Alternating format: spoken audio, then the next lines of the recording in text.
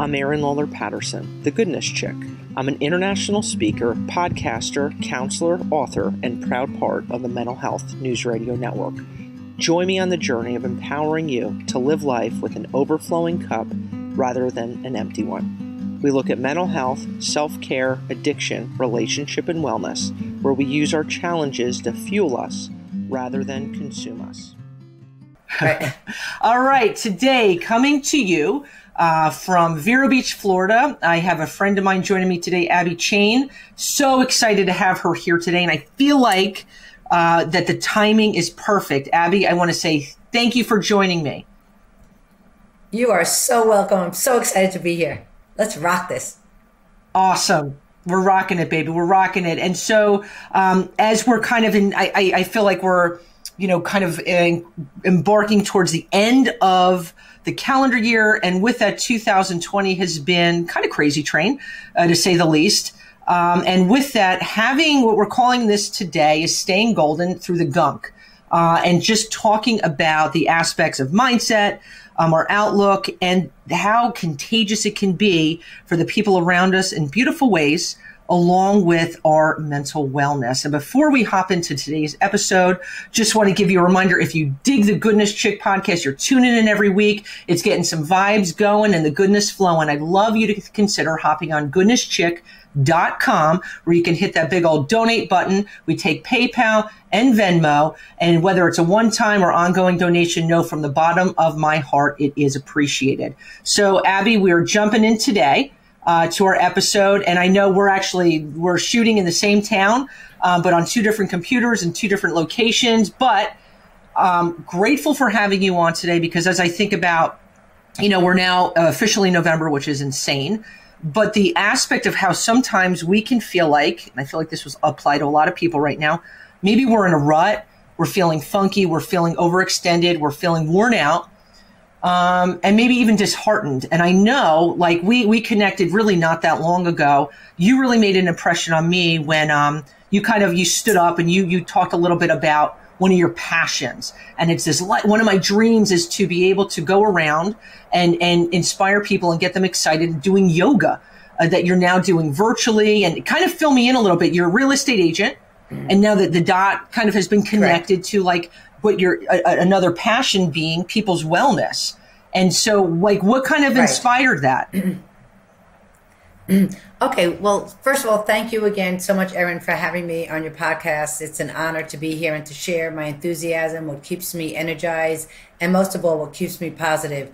Um, so, I started teaching fitness almost 24 years ago, but I've always worked out, always.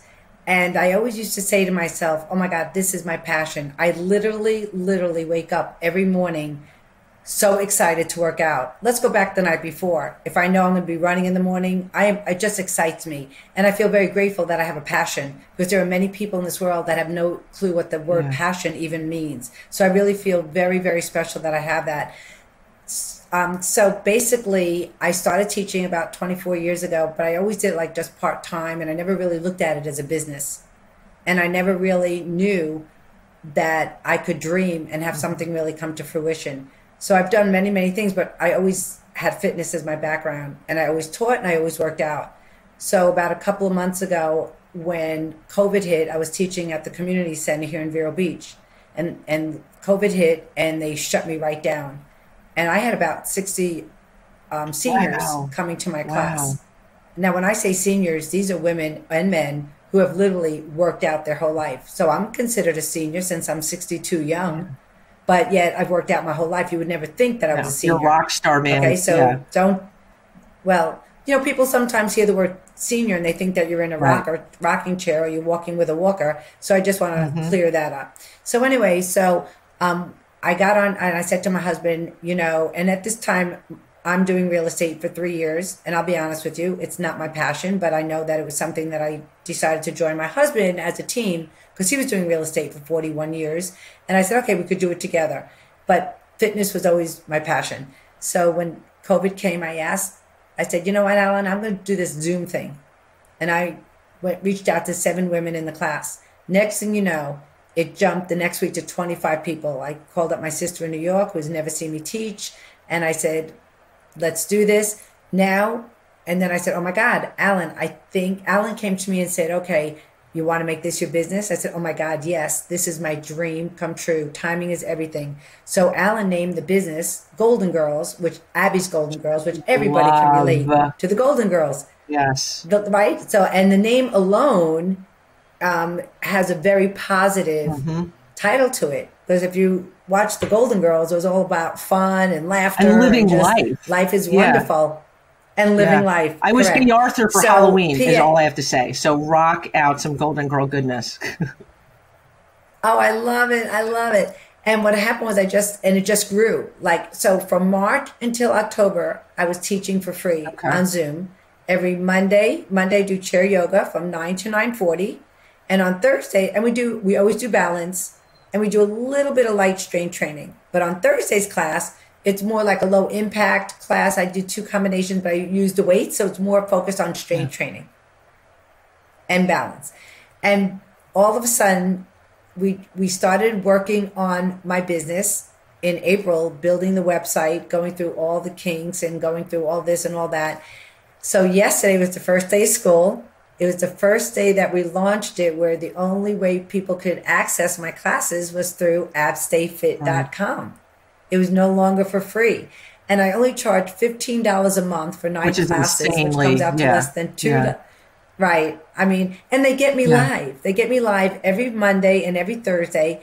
We have now 75 paid wow. members, and they're all over the nation and it's just going to continue. And this could be global to too, Ab. I mean, really, like in terms of you. Oh, yeah. So we have right. listeners who are overseas, and I know there's a time difference, but I am going to put in the link if you're interested in this because um, it's just awesome. First of all, it's an unbelievable deal. You have you as a professional um, instructing, but your charisma and your excitement for life, it is like so Golden Girl ish. It's it's it's infective. Um, and I think I want to ask right. you this: well, like you took that you. risk, right? It's it's way, okay, I talk, I taught at the community center, you're doing great things, you had a lot of people. And then it's like, okay, COVID hit. And this is where kind of like, you know, having listeners tune in a little bit and thinking, I mean, COVID has in so many ways we could feel like kicked our butts and really changed so much, but it's all about our mindset in the pivot where you went from, okay, it was shut down. Now the, the, the positive of virtual, this is a positive, And you were able to connect your passion with that and it's really interesting too because I've also learned how to record the classes.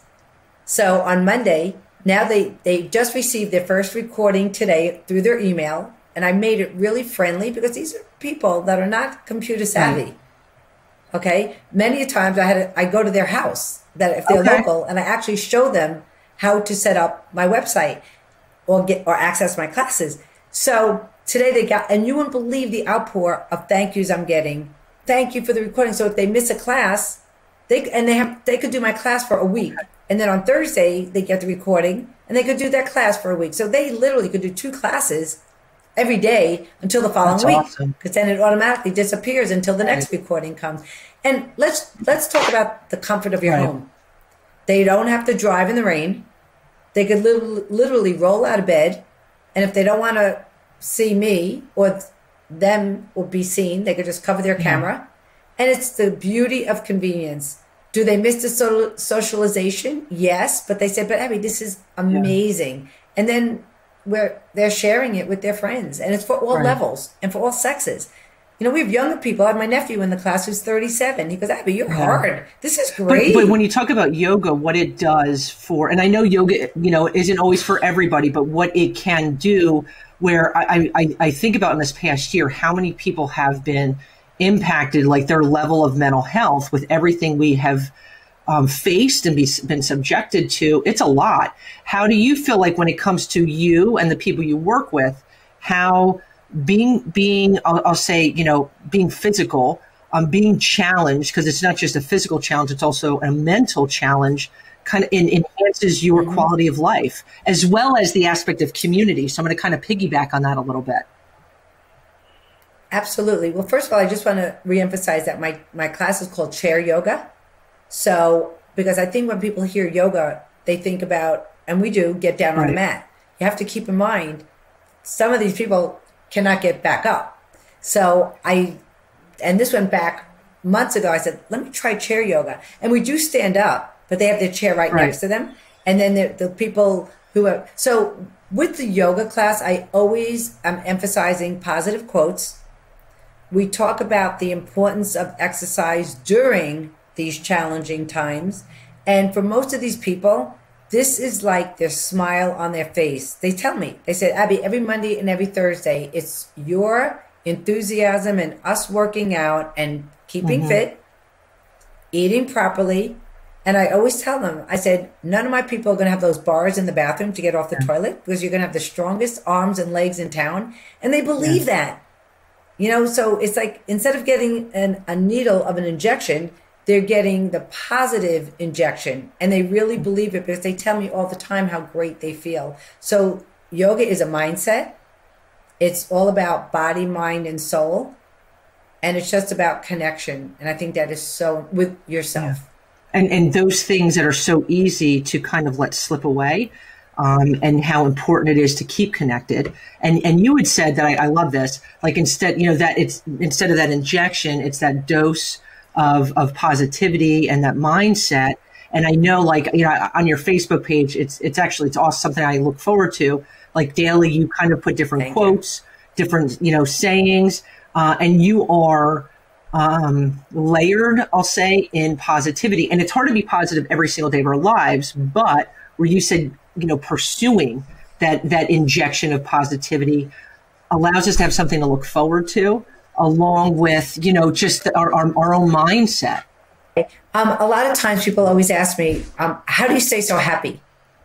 You know, like why? And I used to think that I was really born with a battery, a positive battery.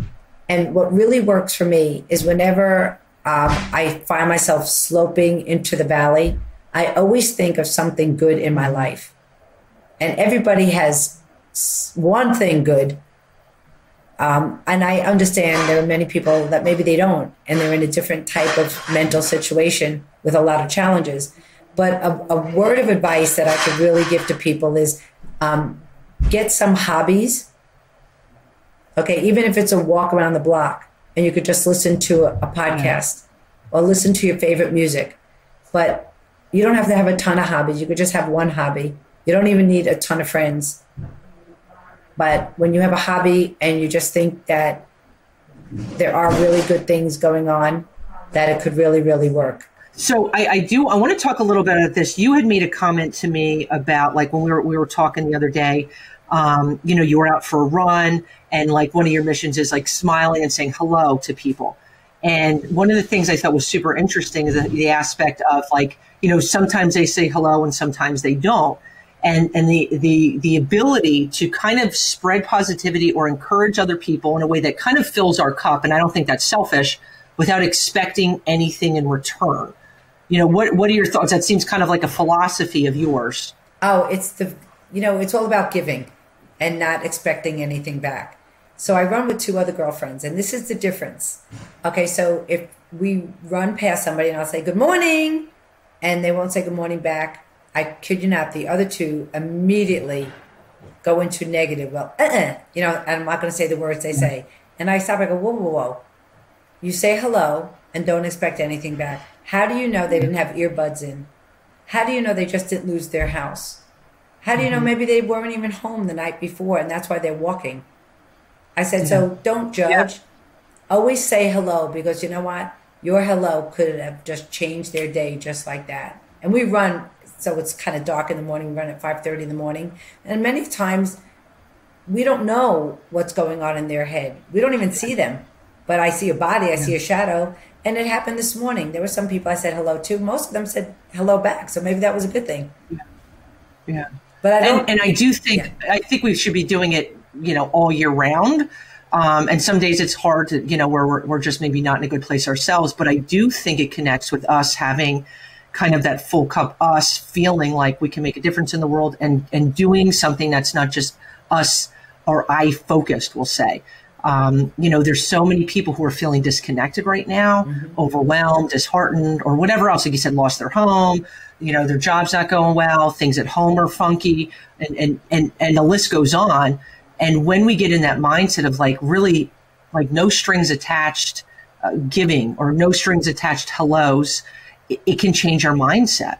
It, it's, you know, another thing that's really nice to do when you, when you wake up and you're not having a good day, text somebody and text them just the words, Hi, I'm thinking of you. Have a great day. Mm.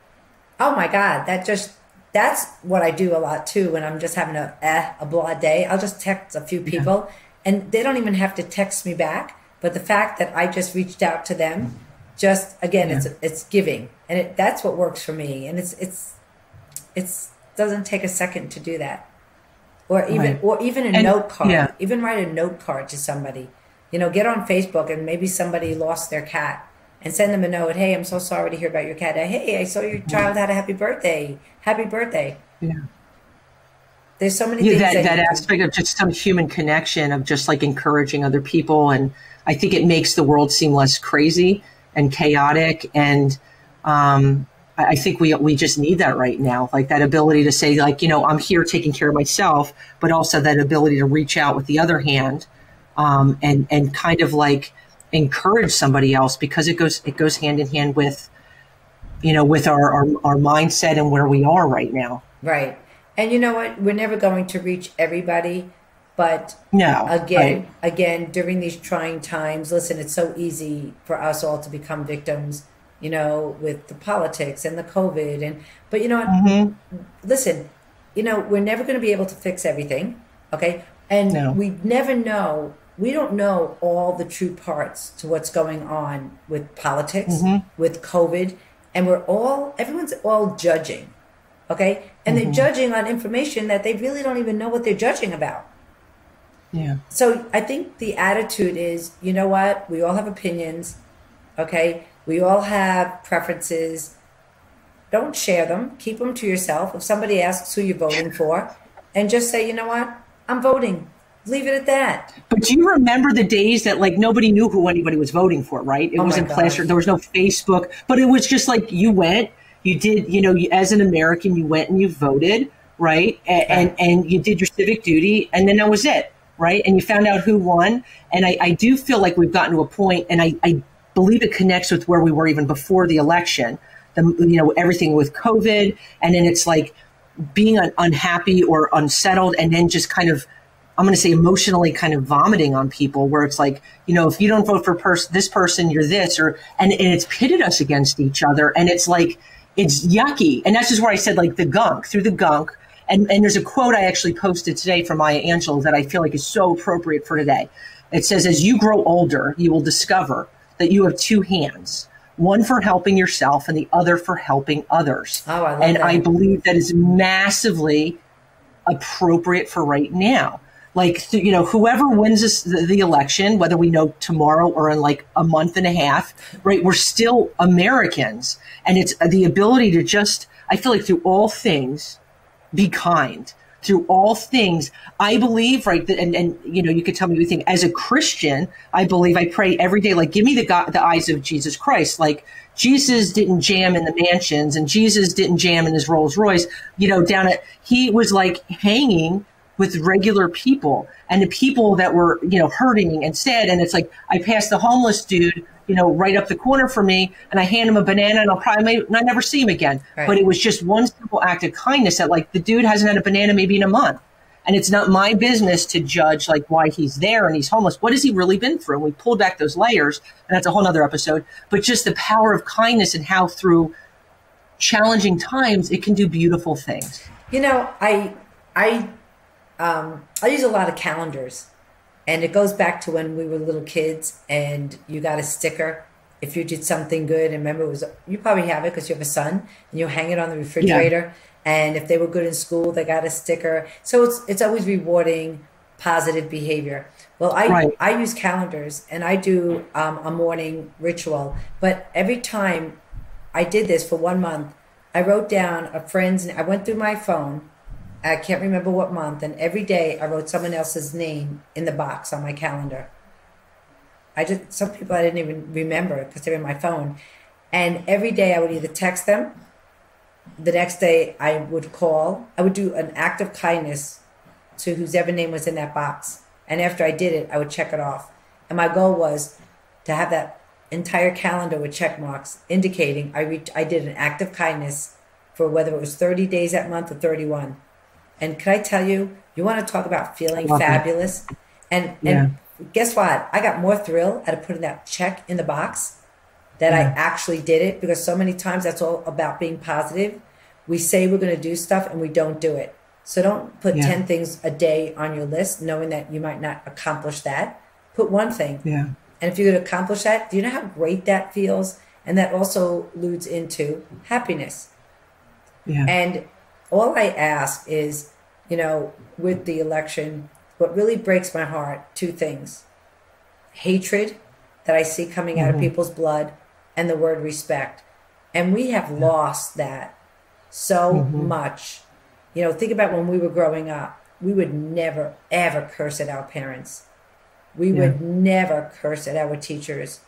We would stand up and say the Pledge of Allegiance every Yep. single day. And it just blows my mind how, you know, the good thing about the lockdown was for COVID, we actually went back to basics and people didn't even realize they went back to basics. And my son even said, he goes, Don't you feel like they've kind of re- re- like forgotten that a little bit already? "Oh like I feel like. I was like, what? We had this like blip of like, hello, hello, and personal connection, and this like, and then I'm like, it's gone. Like, and and yeah, like all this like negativity, and I'm like, where is this?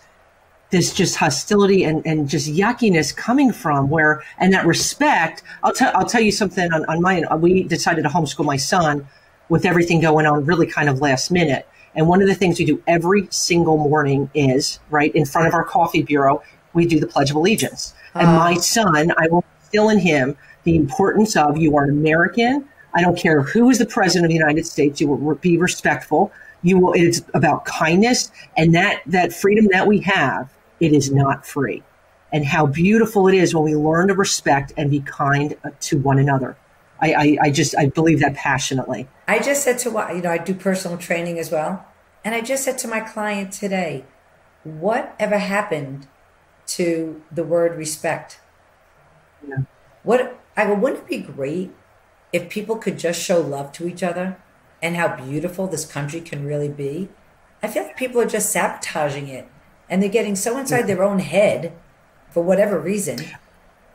Yes, yes. It's- and know I also get- think this look, things are kind of crazy train right now, but I also say, like, listen, if you look, you read, or you look at things going on in other countries, we are so fortunate and blessed to be Americans. Right here, people say, like, whether it was four years ago or, or now or whatever, I'm going to leave America. I'm like, do you have any concept? Like, do you have any concept of how fortunate we are to live in this country? We can talk about who we want to vote for. We can, you know, we. Can, I mean, like we've so many freedoms, and and so many men and women have given their lives for us and are serving now, and and it's like, holy moly, it's um it's something that's super duper taken for granted. And I also think people forgot how to smile. Now, granted, we, Yes. we're wearing masks, but when you smile, your eyes light up. And people can Yeah. tell you're smiling at them. I was reading this whole article about masks and, oh, it's so sad. We can't see people smile. Um, yes, you can. Because I know that when I'm in the grocery store and I smile at someone, they smile back. Now, if they didn't know that I was Yeah. smiling, why would they smile back at me?